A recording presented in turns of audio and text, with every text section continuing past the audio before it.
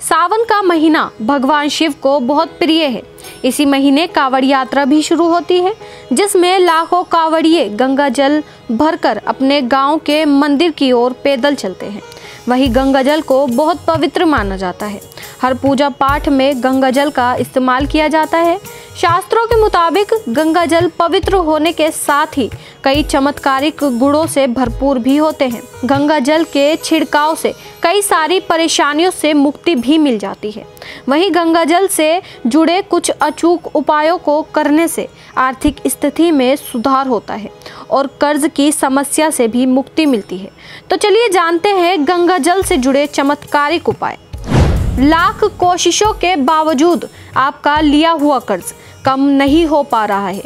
तो गंगा जल का उपाय आपके काम आ सकता है। जी हाँ पीतल के पात्र में गंगा जल भरकर इसे कमरे के उत्तर पूर्वी कोण में रख दें। माना जाता है कि ऐसा करने से आप पर चढ़े हुए कर्ज का बोझ धीरे धीरे कम होने लग जाता है।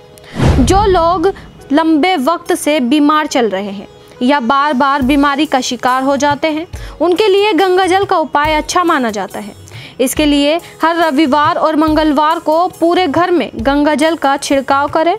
इस उपाय से सारे रोग, दोष दूर होते हैं और नकारात्मक शक्तियाँ दूर भाग जाती हैं।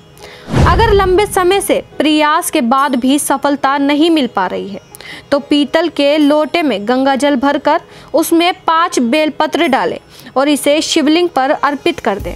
माना जाता है कि ये उपाय करने से उचित फल मिलता है। बच्चों को बार बार किसी की नज़र लग जाती है तो भी गंगा जल का उपाय लाभदायक है। इसके लिए किसी लोटे में गंगा जल लेकर उसे नज़र दोष से पीड़ित बच्चे के ऊपर छिड़क दे।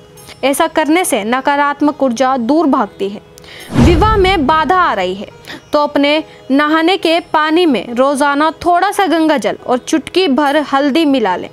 और इसके बाद उस पानी से स्नान करें। मान्यता है कि 21 दिनों तक ये उपाय करने से विवाह के योग बनने लगते हैं। तो आपको हमारी जानकारी कैसी लगी वो हमें कमेंट सेक्शन में ज़रूर बताना। और ऐसे ही तमाम जानकारी के लिए देखते रहें एन ट्वेंटी सेवन भक्ति। आप देख रहे हैं एन ट्वेंटी सेवन भक्ति। भक्ति ही शक्ति है।